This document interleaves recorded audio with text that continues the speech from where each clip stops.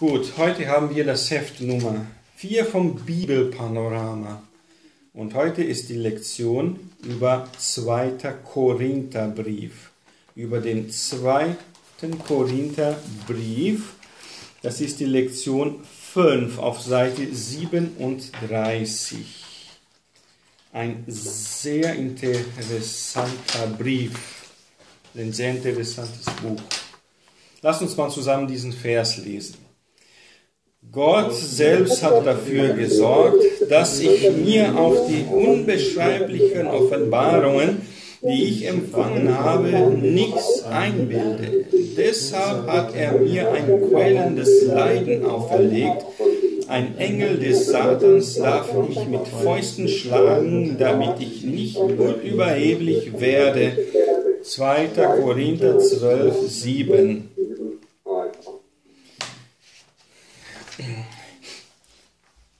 Dieser, ne, dieser Vers, der fasst zusammen diesen Brief.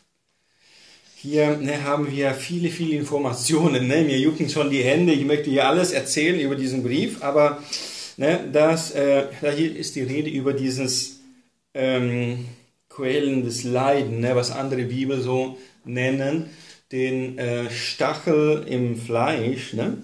Dieser Stachel im Fleisch. Warum hat der Apostel Paulus dieser Stachel im Fleisch? Hier steht es, warum? Wegen den unbeschreiblichen Offenbarungen, ne, die er empfangen hatte.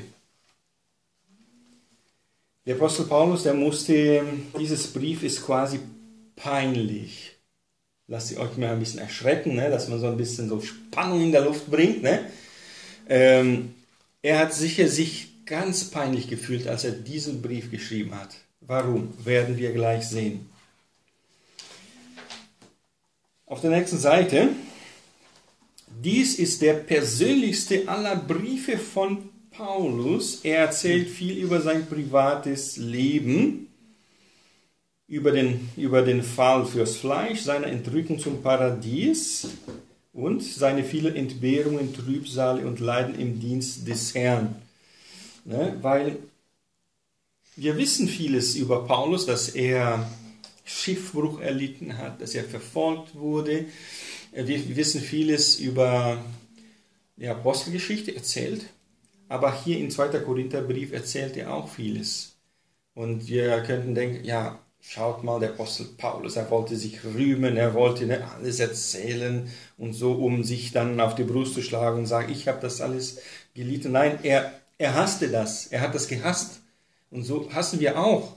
Ne, wenn wir jetzt erzählen muss, oh, ich bin das und jenes und ich habe das studiert und ich habe diese Erfahrung gehabt und ich war schon im vierten Himmel oder im fünften Himmel oder so, ne? dann merkt ihr schon, dass da äh, Eitelkeit im Spiel ist. Ne? Jetzt habe ich ja ein bisschen ähm, witzig gemacht, ne? weil der Apostel Paulus war im dritten Himmel und da gibt es nur drei davon. Ne? ja, das Hauptthema, der rote Faden. Der rote Faden. Das heißt, es war sehr, sehr schwer, dieser, diesen roten Faden rauszufinden. Dann will mir, es war sehr, sehr schwer, diesen roten Faden rauszufinden, weil ähm, ja, der Apostel Paulus, der verschleiert quasi hier das, was ihn motiviert hat, diesen, dieses Brief zu schreiben. Ne, weil er sehr wenig über diese falschen Apostel redet. Ne? Er, er geht nicht so direkt in der Offensive und sagt, hör zu, ich habe diesen Brief geschrieben äh, gegen den falschen Apostel. Aber äh, äh, nachdem ich ja, sagen wir, zehnmal dieses Brief durchgelesen habe, habe ich das gemerkt. Äh, ja, das, das so quillt im Hintergrund. Ne? Warum musste er erzählen, dass er so vieles gelitten hat? Warum musste er das erzählen? Ja, es gab einen Grund dafür, werden wir gleich sehen. Weil einige hatten die Autorität des Aposteldienstes des Paulus in Frage gestellt. Es gab Leute, die kamen und sagten, ja, Apostel Paulus, schau mal, ne? er ist kaum, kann, kann kaum sehen, ne? er ist nur 1,60 Meter hoch hm. und er hat eine Krankheit und hat dies und das, ne? Äh, kann nicht gut reden und so und äh, geht immer mit dem Hammer auf die Leute drauf ne? Äh, und so weiter. Ne? Äh, es gab ne, die sogenannten Apostel.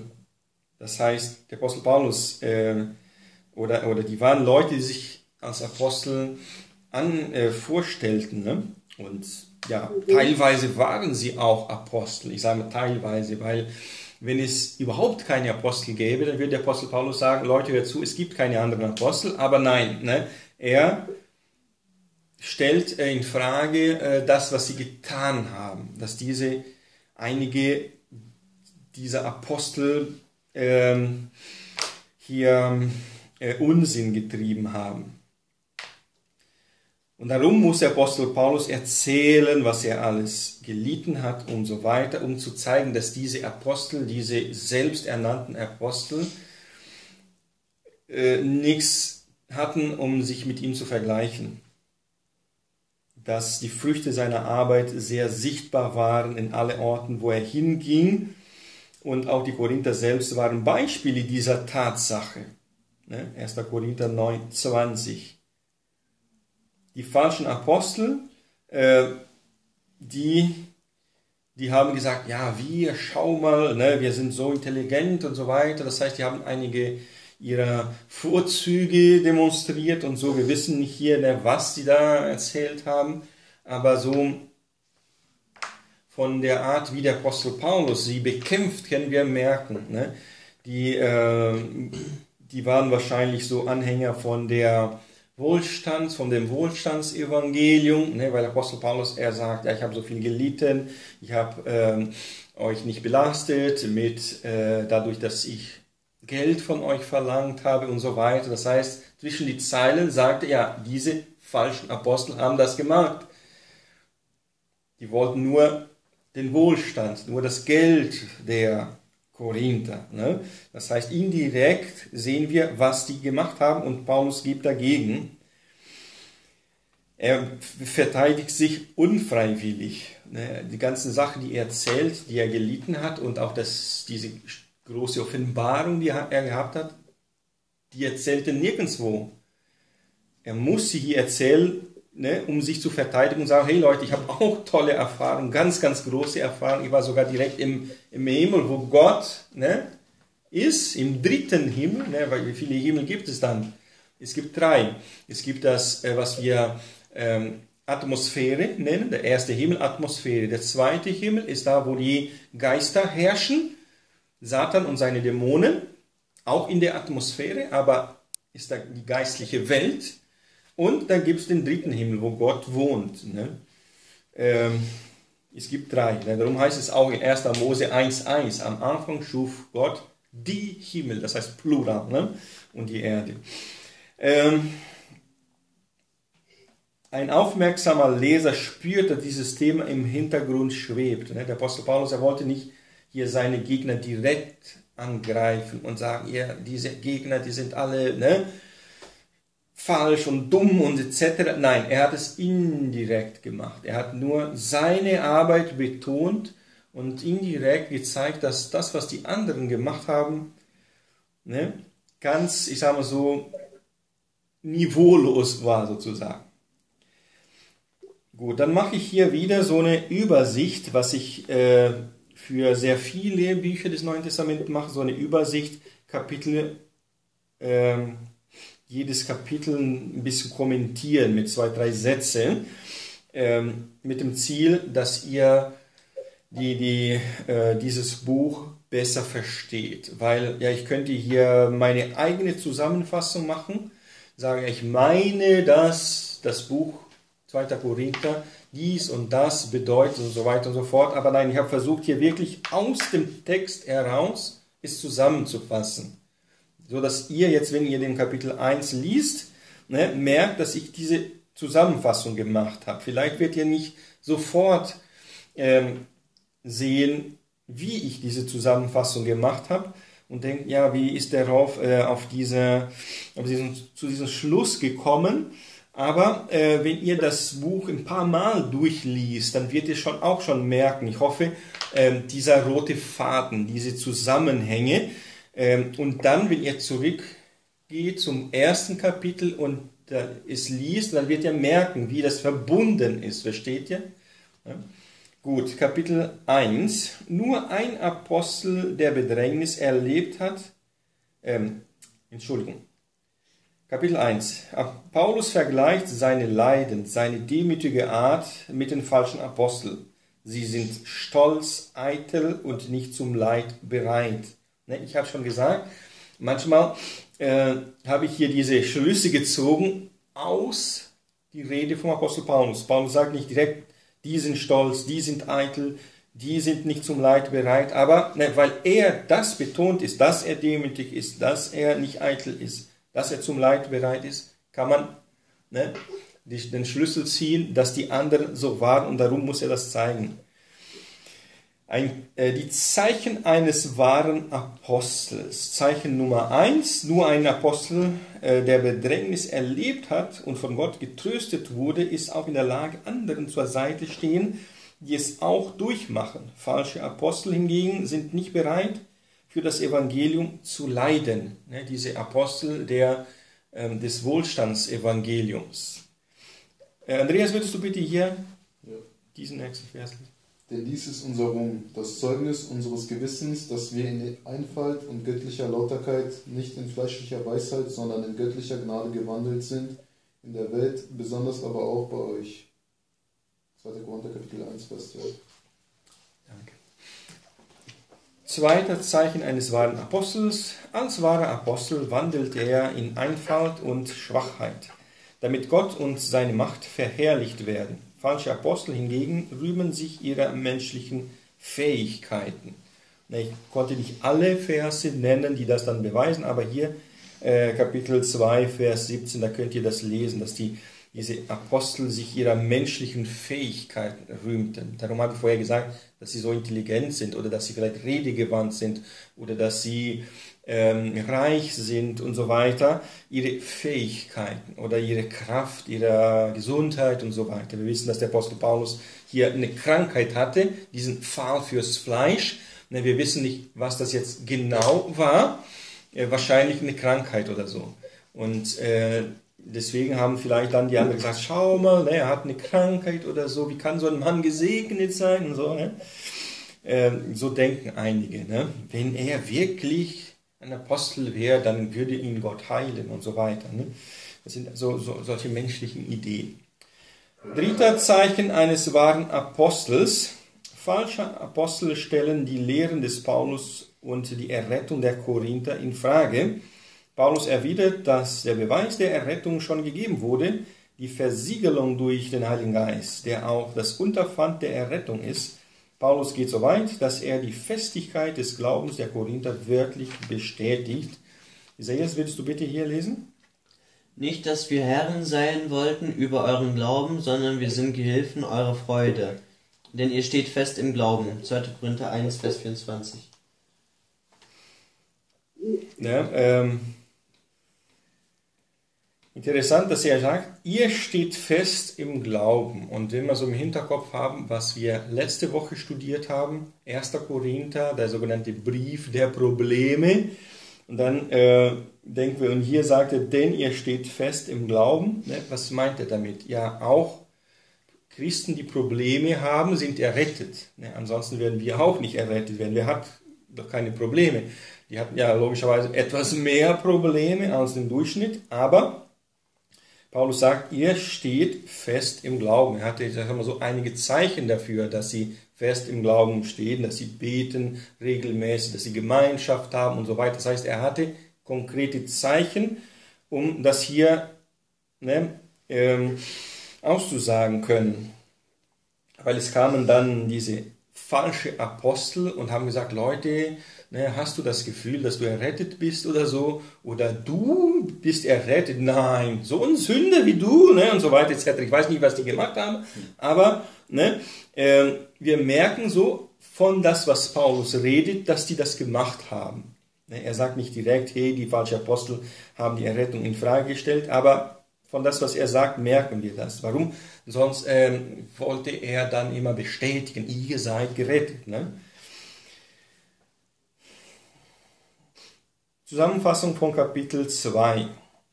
Apostel Paulus will, dass die Korinther nicht betrübt werden, sondern Freude haben. Er lädt die Korinther ein, den bereuenden Sünder Liebe zu zeigen. Ne, die, Frage der Freude ist auch eine wichtige Frage, weil wenn jemand kommt und fragt, ja, bist du gerettet? Ne, hast du, bist du sicher, dass du gerettet bist und so weiter? Äh, das nimmt uns auch die Freude. Äh, logischerweise, ja, wenn wir tatsächlich vielleicht eventuell vom Glauben gefallen werden, dann, dann, okay, dann sollten wir uns Sorgen machen. Okay, klar.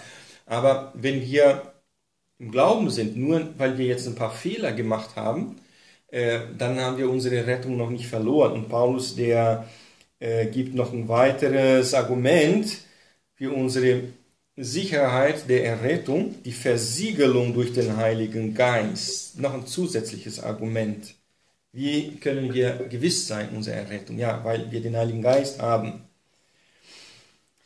Und die Freude wurde betrübt durch dieses Problem mit diesem einen, der jetzt Ehebruch begangen hatte mit seiner eigenen Schwiegermutter. Ne? Oder, ne? Und äh, Schwiegermutter, nein, wie war das noch? Ähm, mit der Frau seines Vaters. Ne? Jetzt korrigiert, mit der Frau seines Vaters. Und da wurde Paulus sehr, sehr sauer und böse. Versteht ihr im 1. Korinther? Und jetzt kommt er und sagt, Leute, hört zu, dieser Mann, er hat sich, ne, er hat Buße getan, er hat sich bekehrt, er hat das bereut. Ne? Jetzt sollen wir auch diese Bereuung akzeptieren. Wir sollen ihn nicht für immer verurteilen. Ne? Wenn er das schon bereut hat, wenn er schon Buße getan hat, wenn er das gelassen hat, das, was er getan hat, dann sollen wir ihn dann wieder aufnehmen. Ansonsten würde dann für immer Traurigkeit sein. Ne? Ähm,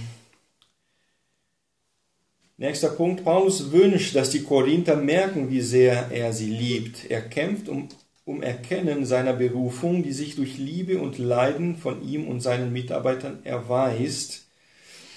Ja, das merken wir, äh, dass hier einen, ähm, wie kann man sagen, eine dicke Luft gegen den Apostel Paulus gemacht wurde. Das heißt, diese falschen Apostel haben die Stimmung der Gemeinde gegen den Apostel Paulus gewendet. Und der Apostel Paulus, der sagt, Leute, hört zu, ich und meine Mitarbeiter, wir haben so vieles erlitten, wir haben so viel gearbeitet für euch. Warum macht ihr das? Warum schließt ihr eure Herzen für uns? Ne? Ist das fair? Ist das gerecht? Ne? Wir lieben euch so sehr. Warum tut ihr das? Ne? Gut, nächste, äh, nächster Satz. Paulus beteuert, dass er das Wort Gottes nicht verfälscht, wie viele andere.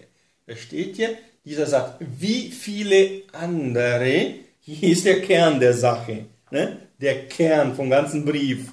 Weil er sagte indirekt, ne, dass die Motivation, die er hatte, um diesen, dieses Brief zu schreiben, diese anderen waren, die das Wort Gottes verfälschen. Ne? Er nennt diese anderen sehr selten in diesem Brief, aber ne, das kommt durch, dass da ne, Leute waren, die ein falsches Evangelium gepredigt haben. Kapitel 3. Die falschen Apostel stützen ihre Autorität auf Empfehlungsbriefe. Paulus stellt die Empfehlungsbriefe nicht in Frage, sondern argumentiert, dass sein Empfehlungsbrief in Klammern seine Arbeit am Werk des Herrn ist, die die Korinther deutlich erkennen konnten an den Ergebnissen. Die vielen Menschen, die durch ihn auch in Korinth zum Glauben gekommen waren. Die falschen Apostel lehrten jüdische Bräuche und Gesetze. Paulus hingegen verkündigt den neuen Bund, dessen in Klammern Tinte der Heilige Geist ist und geschrieben ist nicht auf Papier wie die Gesetze, sondern in den Herzen. Äh, Wolfgang, würdest du bitte lesen? Es ist ja offenbar, dass ihr ein geliebtes Christ, dass ihr ein geliebtes des Christus seid.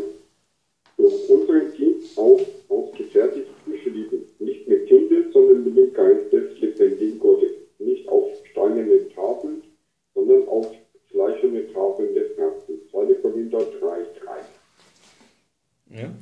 Ähm, dieses Problem ähm, ist nicht von heute, ne, dass viele Menschen mehr Wert auf eine Urkunde, auf ein Blatt Papier legen, als auf die Menschen. Ne. Das heißt, wenn man jetzt eine Person kennenlernt und merkt, dass diese Person, ja, ich sage, eine Ahnung hat, ähm, und dann kommt ein anderer, der sagt, hör, hör mal, ich bin Doktor, Doktor und so weiter, ne? Äh, wem schenkt man mehr ne? äh, Gehör? Ne? Und damals war das auch schon so. Diese falschen Apostel, die kamen mit solchen Empfehlungsbriefe von ja, anderen Gemeinden, wo dann da drauf steht, äh, dieser Bruder, der ist sehr gut, der ist sehr gläubig, der hat vieles gemacht, er hat vieles getan und so weiter und so weiter. Dann haben die mehr Wert auf so einen Brief gelegt als äh, dem Apostel Paulus, der ja keinen Brief hatte. Äh, vielleicht könnte er sogar einen Brief haben von Antiochien, weil er wurde immer aus Antiochien ausgesendet. Das heißt, theoretisch könnte er jetzt zur Gemeinde Antiochien gehen und sagen, ich will auch einen Empfehlungsbrief. Aber was sagt er? Pff, ne? Geht mir am Rücken vorbei. Empfehlungsbriefe, Leute, merkt ihr gar nicht, was wir gemacht haben? Ne? Wir haben euch evangelisiert, wir haben das Evangelium gepredigt und ihr schaut jetzt auf ein Blatt Papier. Ne? Ne, das war sehr, ähm, das war schlimm. Ne? Empfehlungsbriefe sind nicht schlecht. Sollen wir haben, okay. Ne? Das heißt, wir können nicht alle Menschen persönlich kennen. Es gibt manchmal Menschen, die kommen und dann denken wir, oh, woher kommt dieser? Ne? Und wenn da auf dem Blatt Papier steht, dass er ein Mitglied einer anderen Gemeinde ist, unterschrieben von einem Pastor oder so, ist gut, ne? ist besser als gar nichts. Ne? Ähm, aber damals haben die das umgekehrt, mehr Wert auf dem Papier gelegt. Ähm, und auch ähm, das mit den jüdischen Bräuche und Gesetze hatten wir auch schon letztes und vorletztes Mal, das mit dem Römerbrief, Korinther und so, das, das liegt immer in der Luft, ja, weil nur vor 30 Jahren waren äh, die Gemeinde entstanden. Das heißt, war Jesus auferstanden und zum Himmel gefahren. Das heißt, der christliche Glaube wirklich entstanden. Ne, weil die, während der Arbeitszeit Jesus, ne, da war Jesus noch nicht gekreuzigt und so weiter. Nur nachdem er gekreuzigt, auferstanden und zum Himmel gefahren ist, ist der christliche Glaube entstanden. Und hier, als Paulus diesen Brief schreibt, dann sind es 20 oder 30 Jahre vergangen. Und da war noch viel, ich sage mal, Judentum in der Luft. Die Art und Weise, wie die Juden ihre Religion ausgelebt haben, die war noch, die hat noch viele Menschen geprägt, weil viele waren früher Juden und die legten viel, viel Wert darauf, auf ihre ne, Bräuche und Sitten und Gesetze und Regeln und so weiter, alles Mögliche. Paulus musste immer wieder erklären, dass die mosaische Religion zur Vergangenheit gehört mosaische Religion. Ich benutze immer wieder dieses Wort, obwohl es nicht in der Bibel steht, damit es euch klarer wird. Weil in der Bibel, hier in, äh, auch im 2. Korinther, wird immer das Wort Gesetz benutzt. Gesetz, Gesetz, Gesetz. Und äh, ne, das Wort Gesetz hat verschiedene Bedeutungen, zum Beispiel jetzt äh, das Alte Testament oder Teile vom Alten Testament. Aber meistens meint Paulus hier die mosaische Religion die ist anders als die abrahamische Religion. Das heißt, Abraham hat keine Religion hinterlassen, nur der Glaube an Gott. Und Moses hat zusätzlich zum Glauben an Gott noch ne, die Stiftshütte und die ganzen Gegenstände und die Opferung und so weiter. Das heißt, eine riesen, ähm, ein Riesenpaket von Zeremonien, Rituale und so weiter aufgestellt. Darum sage ich mosaische Religion. Die mosaische Religion gehört zur Vergangenheit. Ne? Das müssen wir hier, das werden wir hier bis zu, zum Ende dieses Heftes dann wirklich ne, äh, nie mehr vergessen, weil das werden wir ja ein paar Mal durch, weil auch im Galaterbrief, Epheser und so weiter, Kolosser, das, ne, der Apostel Paulus muss immer wieder, und nicht nur der Apostel Paulus, auch Petrus, Jakobus und Judas und alle, Johannes, ne, alle sind im gleichen Boot. Das Boot vom geistlichen Leben, vom neuen Leben im Geist, vom Glauben direkt an Gott durch Jesus Christus, nicht durch die mosaische Religion. Und hier macht Paulus einen Vergleich. Moses musste sein Haupt deswegen bedecken, weil, ja, weil die war sehr herrlich. Moses hat sich mit Gott äh, getroffen. Er war mit Gott und sein Haupt glänzte und er musste sich mit so einem Schleier bedecken. Aber nach ein paar Stunden, sage ich mal, ging diese, dieser Glanz weg. Dann konnte er wieder diesen Schleier wegmachen. Ne? Aber die Herrlichkeit des neuen Bundes, der Dienst des Geistes und der Gerechtigkeit ist viel größer und dazu noch beständig, nicht wie die alte, die verging. Nach einiger Zeit hörte das Haupt Moses aufzuleuchten. Ne? Das heißt, dieser Glanz, der ging wie jeder weg, aber der Glanz vom Heiligen Geist geht nicht weg. Der Dienst des Geistes, der Dienst der Gerechtigkeit, der bleibt immer bestehen, der geht immer weiter, der besteht schon 2018, nein, ja, circa 2000 Jahre, ne, besteht schon dieser Dienst. Der Glanz geht nicht weg. Die Anhänger jener Religion können die Bibel nicht verstehen, weil sie eine in Klammern Decke vor den Augen haben. Jetzt wurde der Heilige Geist gegeben, damit wir die Bibel verstehen und von, gesetzlich, von der Gesetzlichkeit befreit werden. Unsere moralische Verbesserung kommt nicht aus der Einhaltung von Regeln, sondern aus der Verwandlung, die der Heilige Geist in Richtung Herrlichkeit Gottes bewirkt. Tatjana, würdest du bitte lesen hier den Vers?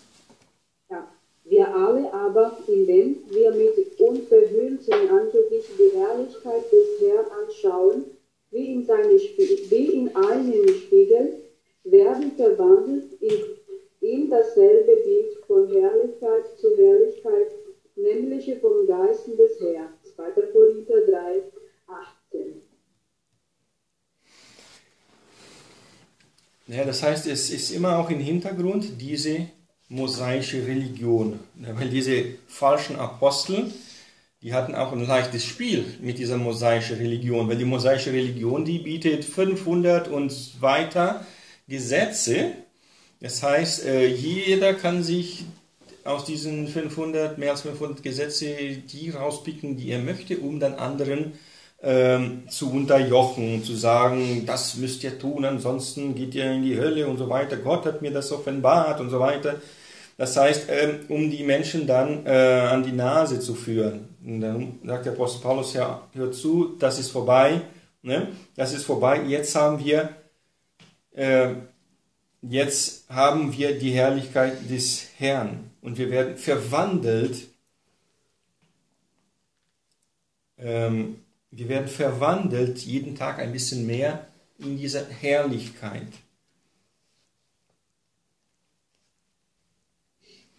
Interessant, dass er sagt, indem wir mit unverhülltem Angesicht die Herrlichkeit des Herrn anschauen, wie in einem Spiegel. Das heißt, das sind zwei Sachen, die sich quasi ein bisschen widersprechen. Das heißt, Spiegel, die Spiegel von der damaligen Zeit, die waren schlecht. Die waren nur Metall, poliertes Metall und das war ne, nicht so wie heute, die heutigen Spiegel, ne, die immer glatt sind. Das heißt, da war, das ist eine, äh, damit will er meinen, eine Sache, die jetzt nicht ganz so perfekt ist. Und er sagt, mit unverhülltem Angesicht.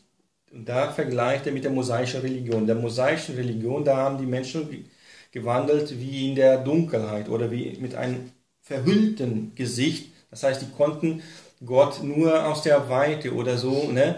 wie wir jetzt, wenn wir jetzt einen, ein Tuch auf dem Gesicht haben, dann können wir vielleicht so äh, Schatten wahrnehmen oder so. Ähm, und so ähnlich war das im Alten Testament. Durch das Gesetz konnten die Menschen so einen Schatten, so eine Ahnung haben über Gott. Äh, zum Beispiel ja durch die zehn Gebote, ne? du sollst nicht töten, sollst nicht Ehe brechen, sollst nicht stehlen und so weiter. Das heißt, dadurch konnten sie so eine Ahnung bekommen von Gott, ja Gott, der, der ist äh, ein Gott der Liebe, weil er nicht möchte, dass die Menschen sich töten. Er ist ein Gott der Treue, weil er nicht möchte, dass die Menschen Ehebruch machen und so weiter. Das heißt, die konnten eine Ahnung bekommen, wie so ein Schatten, ne? so wie einer, der mit einem verhüllten Gesicht geht. Aber nein, wir heute, wir haben die Offenbarung. Wir haben Jesus. Jesus hat alles offengelegt durch Jesu Predigt, Tod, Auferstehung, ne, wurde alles geöffnet. Das Alte Testament, die, das Verständnis vom Alten Testament wurde geöffnet für uns.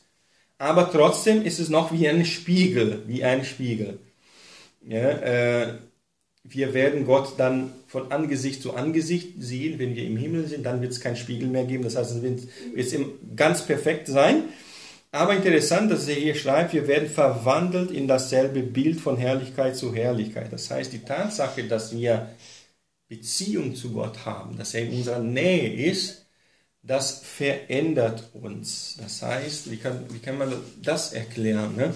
Ähm, dass dadurch, dass der Heilige Geist auf uns strahlt, sein, dass er voller Liebe ist und er strahlt auf uns und so färbt das ab. Ne? Quasi wie wenn ihr jetzt in einer Waschmaschine hier eine, ein Hemd legen, was rot ist und ein weißes und dann später ist das weiße Hemd auch ein bisschen rot sozusagen, so ähnlich. So ähnlich, weil wir Gemeinschaft mit Gott haben, so werden wir immer verwandelt, damit wir ähnlicher, herrlicher werden, ähnlicher wie er.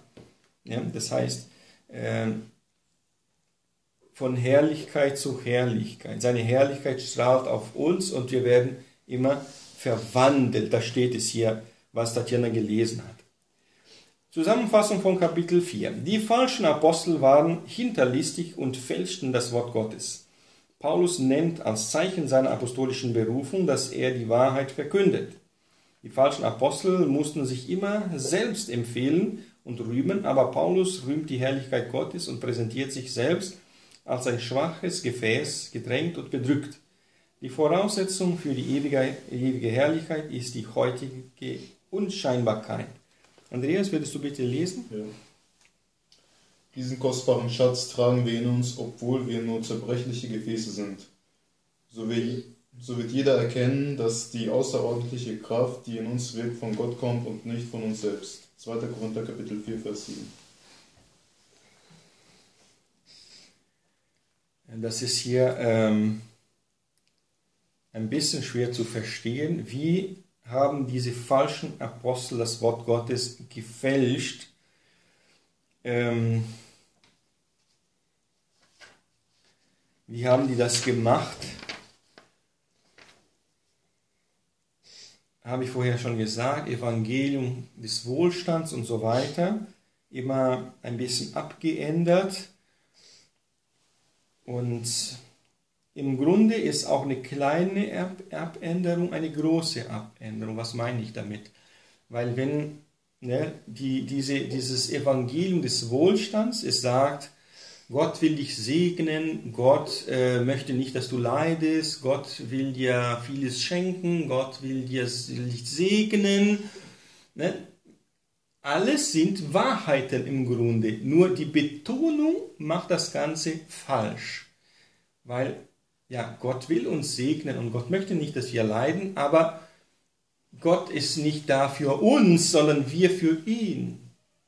Das heißt, das ist nur indirekt, das ist nur aus Gnade, dass Gott nicht möchte, dass wir leiden oder dass er uns helfen und heilen will etc. Das ist nur aus seiner Gnade, weil er gnädig ist, aber wir sind da, das Ziel unseres Lebens ist, ihn anzubeten. Das ist ganz subtil, diese Veränderung, die ist ganz subtil. Du kannst mit den gleichen Worten ein völlig anderes Evangelium predigen.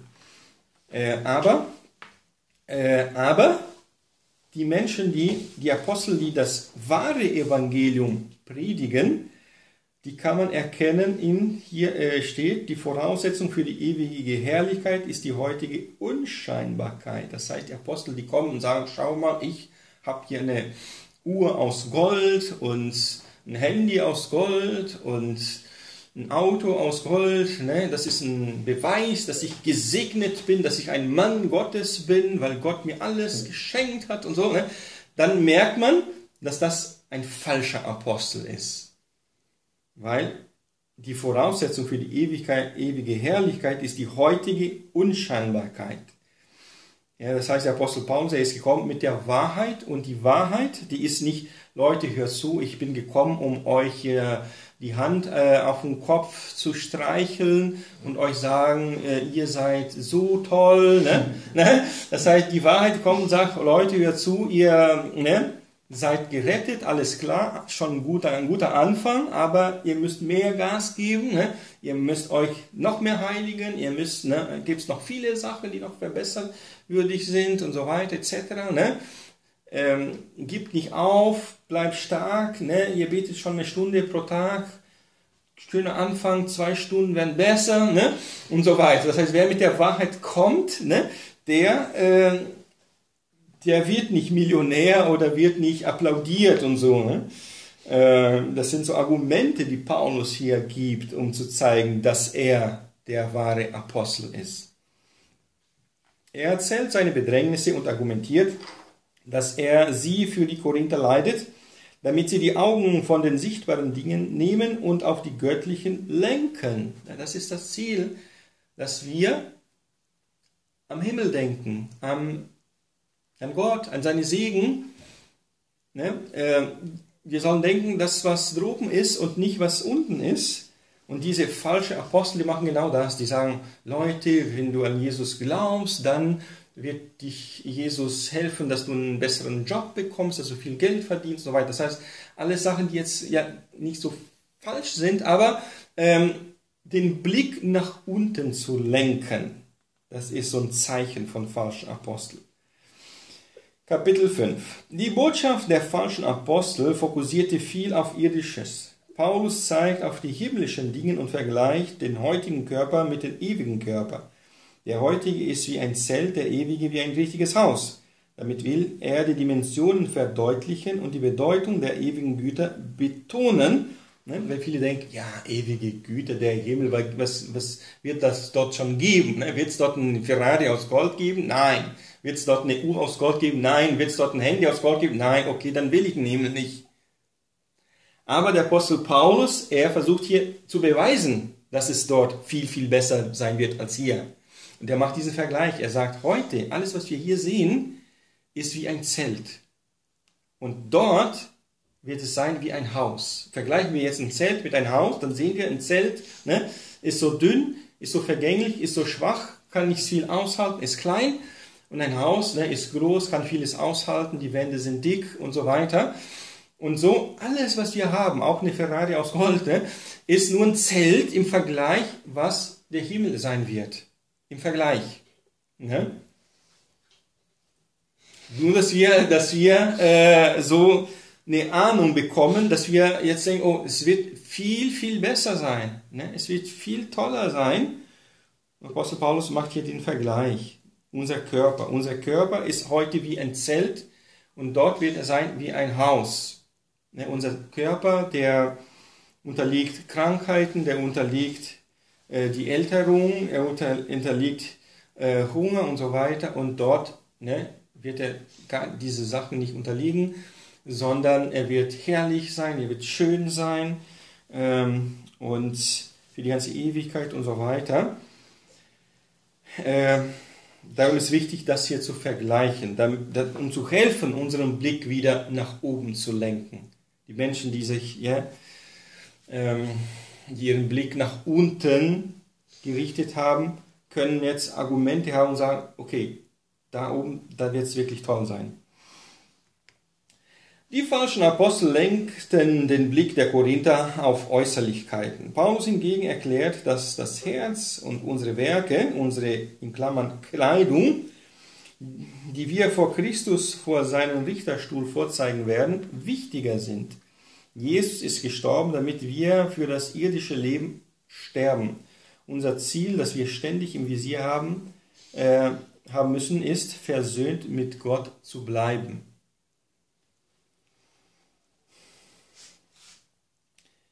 Ne, dieses Wort Kleidung wird oft im Neuen Testament benutzt für die Werke, das heißt für die Heiligkeit oder für das, was wir tun. Weiße Kleidung heißt heil, heilig ne, und schmutzige Kleidung heißt Sünde und Kleidung überhaupt, ja, das, was wir tun, das ist ein im übertragenen Sinn, im übertragenen Sinn. Das hat nicht, nichts mit Kleidung zu tun. Das ist eine, ne, das ist eine symbolische Bedeutung zu sagen, wie werden wir vor Jesus treten? Wie gekleidet werden wir vor ihn treten? Heißt, was werden wir ihm vorzeigen können, was wir gemacht haben, dass wir die ewigen Güter ähm, geschätzt haben, die ewigen Sachen geschätzt haben, das heißt die ewige Errettung, den Himmel, Jesus Christus, alles, was dort auf der anderen Seite gibt, haben wir das geschätzt, haben wir das gesucht, haben wir äh, geholfen, dass andere Menschen das auch suchen und finden, oder haben wir ne, uns gesorgt um die irdischen Sachen und geholfen, dass andere Menschen die auch finden und, und suchen und so weiter. Ne? Äh, ich sage mal, äh, nicht, dass äh, ich meine hier ähm, ganz allgemein, Logischerweise sollen wir helfen, dass die Armen äh, Brot haben und so sollen wir tun, ist ein Teil des christlichen Lebens. Aber ich meine so im Allgemeinen, dass Menschen sich, ähm, sich sorgen um, die, um Luxus und so. Kapitel 6. Paulus listet viele Bedrängnisse, auf die er und seine Mitarbeiter litten, was sie als Arbeiter Gottes empfiehlt. Deswegen können sie die Botschaft verkünden, empfangt die Gnade Gottes nicht umsonst, sondern legt die Weltlichkeit ab.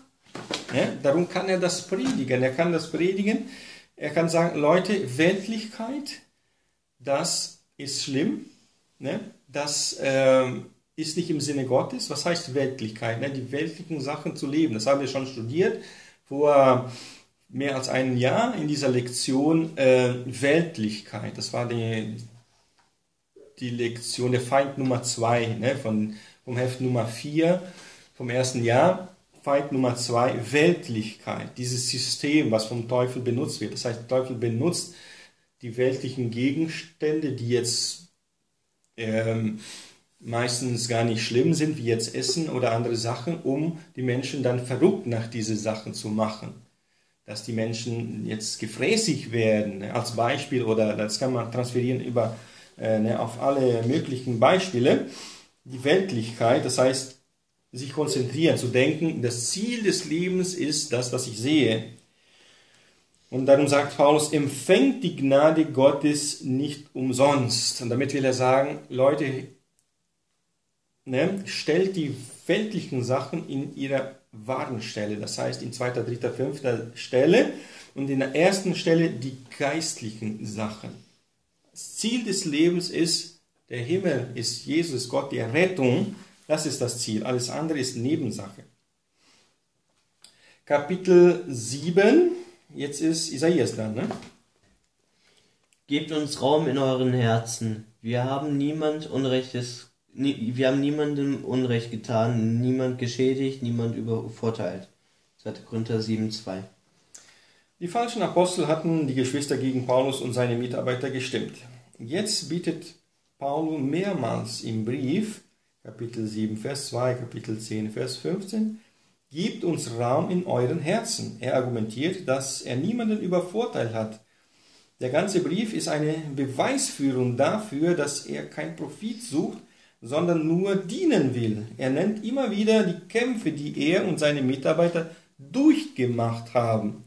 Ich, ich übersetze das in meine Worte. Er sagt, Leute, hab, wir haben so viel gelitten. Ich und meine Mitarbeiter, wir haben so vieles durchgemacht, um euch das Evangelium zu bringen.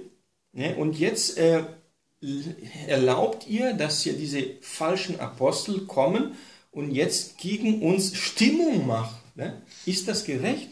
Ist das gut? Ne?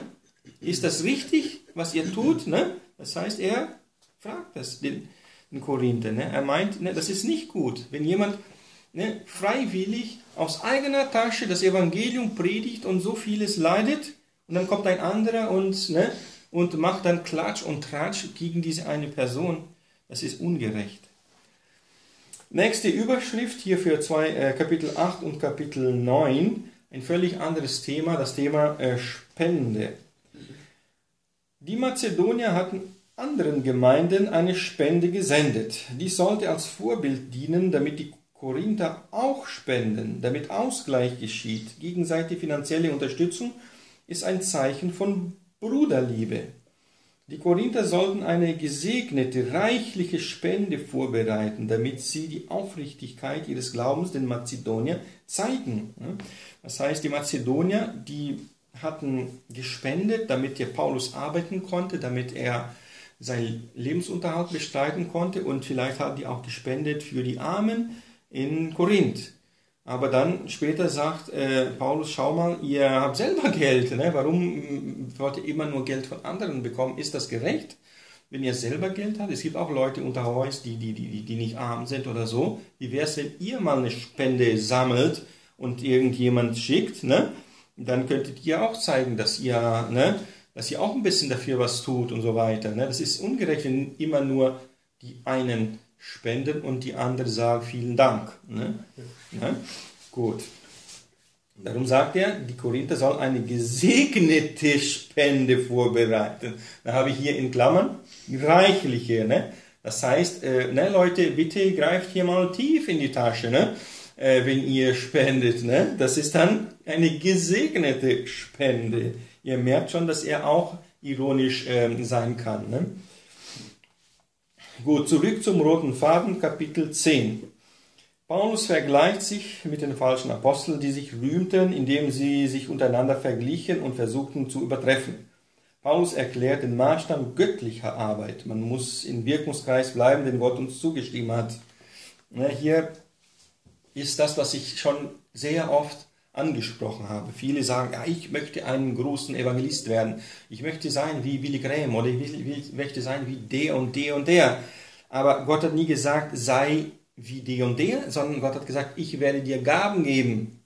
Ich werde dich befähigen, bestimmte Sachen zu machen. Und, ne, äh, und diese falschen Apostel, die haben gesagt, schau mal, ich predige viel besser als der andere. Ja, aber Gott hat nicht gesagt, wir sollen das tun, wir sollen im Vergleich, wer predigt besser. Ne? Gott hat nicht gesagt, dass eine Gemeinde hier ein, ne, eine, eine TV-Show ist, wer predigt besser ne? oder so. Äh, nein, äh, ne?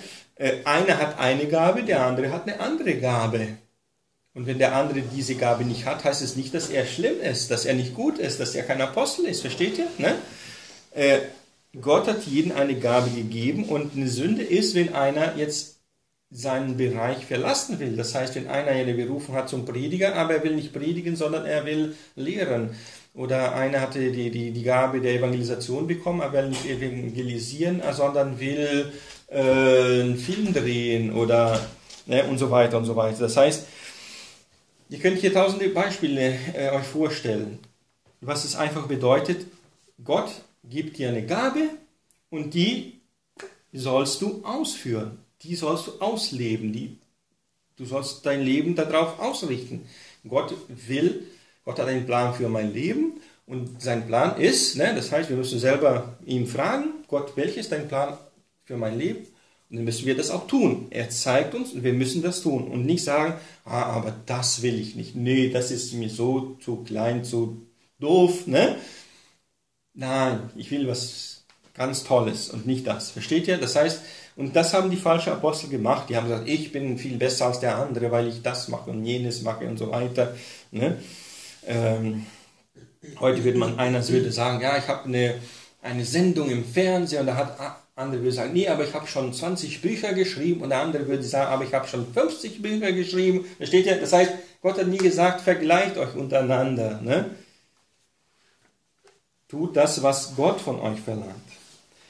Kapitel 11. Paulus verteidigt seinen Aposteldienst und zeigt, dass zusätzlich zu den Bedrängnissen und Verfolgungen er auch im finanziellen Bereich kämpft und leidet und aus anderen Gemeinden Geld nimmt, um die Verkündigung in Korinth zu finanzieren. Die falschen Apostel gaben an, große Apostel zu sein und verglichen sich mit Paulus, der wenig redegewandt war. Paulus verteidigt sich und listet die Schläge, Schrift, Schiffsbrüche, Raubüberfälle, Wüsten, Meer, Hunger, Kälte und Sorgen, auf die er erlitten hatte. Er erklärt, dass dies alles nicht zu seinem Ruhm dienen soll, sondern er rühmt sich nur in Gott. Ne? Versteht ihr, warum ich ganz am Anfang gesagt habe, ja, dieses Buch ist peinlich für den Apostel Paulus. Es ist peinlich, sowas zu schreiben, zu, zu, zu listen, alles, was er gelitten hat, ne? um sich zu vergleichen mit den anderen Aposteln. In diesem Moment hat er einen Vergleich gemacht, ne? einen negativen Vergleich. Das heißt, die anderen, die haben sich gerühmt, weil die, sie so gut redegewandt waren und so weiter. Und der Apostel Paulus, nein. Er sagt, Leute, ihr habt dies und dies und dies alles gelitten. Ne? Und das ist ein Beweis, dass er es ehrlich gemeint hat, dass er wirklich von Gott war, dass er das alles überlebt hat, aber dass er alles auch, das auch gelitten hat, um Menschen zu erreichen, wie Jesus. Weil Jesus hat auch gehungert und ist gelaufen durch die Wüste und wurde gekreuzigt und wurde, ähm, und wurde ungerecht verurteilt und wurde verleugnet und wurde kritisiert und alles Mögliche. Ne? Das sind Zeichen, dass er die Wahrheit gepredigt hat. Und hier der Apostel Paulus, er hat alles das hier gelitten, das sind Zeichen, dass er die Wahrheit predigt und nicht wie die falschen Apostel. Kapitel 12. Er fährt fort in seiner Verteidigung gegen die falschen Apostel und erzählt seine Entrückung zum dritten Himmel, zum Paradies. Er beteuert, dass er sich nicht rühmen will, sondern er rühmt sich seiner Schwachheit. Er schämt sich, dies erzählen zu müssen, aber er wird dazu gedrängt, um die falschen Apostel zu bekämpfen, die selbsternannten bedeutenden Apostel. Äh, jetzt ist Wolfgang dran, oder? Ich bin töricht geworden mit meinem Rühmen. Ihr habt mich dazu gezwungen. Und ich sollte von euch empfohlen werden, da ich den bedeutenden Aposteln in nichts nachstehe. Wenn ich auch nichts bin. 2. Korinther 12, 11.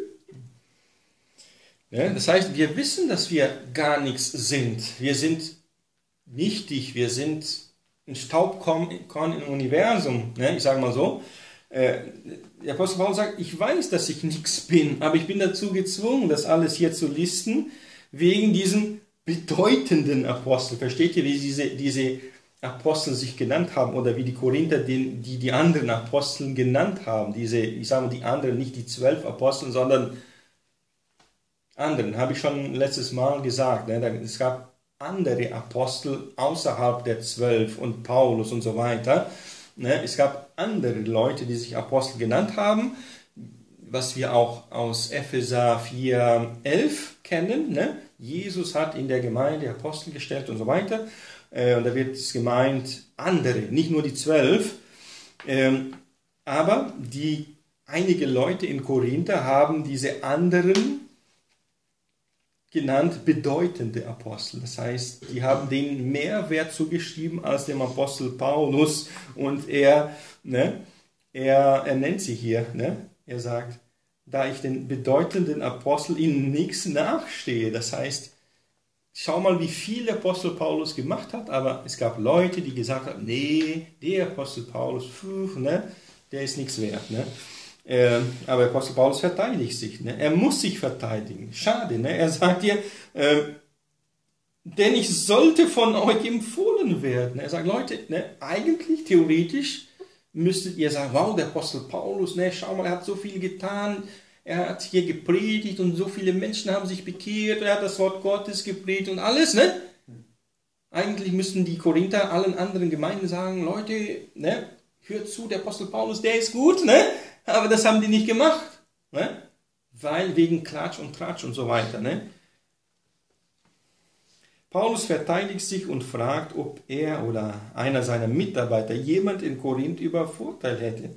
Er verteidigt sich vor, den, vor dem Angesicht Gottes, damit die Korinther seine Autorität erkennen, dass wenn er kommt, er die Sünde in der Gemeinde unbehindert verurteilen kann. Ne? Er verteidigt sich, er sagt, Leute, hab, haben wir, ich und meine Mitarbeiter in irgendeiner Weise euch übervorteilt? Haben wir das gemacht? Dann sagt es hier auf dem Tisch, in mein Gesicht. Ne?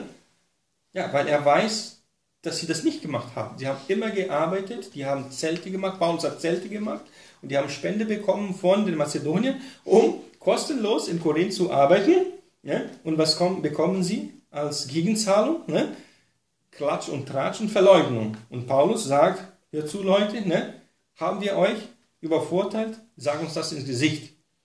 Sag uns das, weil wenn wir zu euch kommen, dann werden wir die Sünde der Gemeinde unbehindert verurteilen.